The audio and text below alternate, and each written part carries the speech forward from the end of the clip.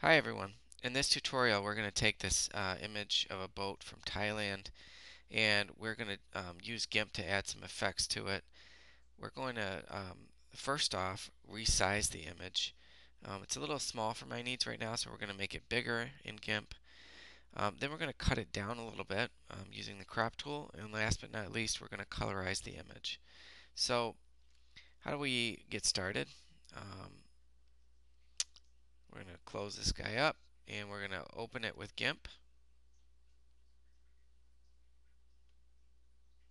So I just right clicked on the on the file and said edit with GIMP. Uh, GIMP is starting up here. There we go.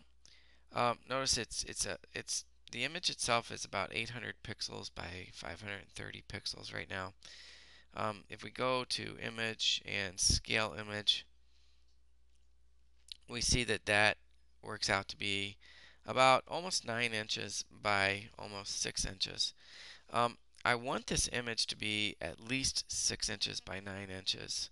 Um, so I'm going to adjust this up a little bit. I'm going to say 9.5 and it's going to make it just above um, 9 inches, 9.5, and going to make the height just above 6 inches. Um, the height adjusted automatically because the lock was selected. Um, it was put together.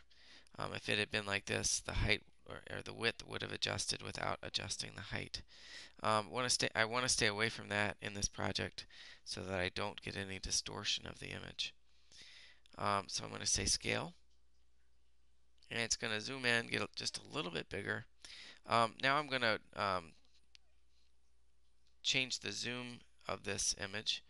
So we're going to make it fit um, within our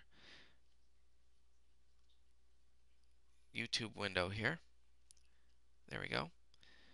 Alright, so if I change this pixel setting to inches, I see I'm just over 9 inches um, and um, just over 6 inches in the height.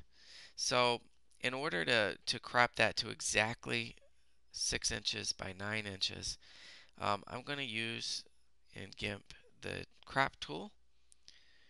Uh, I'm going to select the crop tool and come in and get started here. I'm going to move this tool up and you can see that we can convert these pixels um, to inches so I want it to be exactly 9, and I want this to be exactly 6. So now I have a 9 by 6 um, crop window. Um, I can get it situated, so maybe I want mostly the boat. And I'm going to, what, what the crop tool is going to do is cut out these grayed out areas over here. So in the bottom right corner, if I click, it's going to crop out the excess. Um, so that is scaling this uh, making an image bigger, then using the crop tool to make it smaller. And um, in the next tutorial, I'm going to show you how to colorize this image.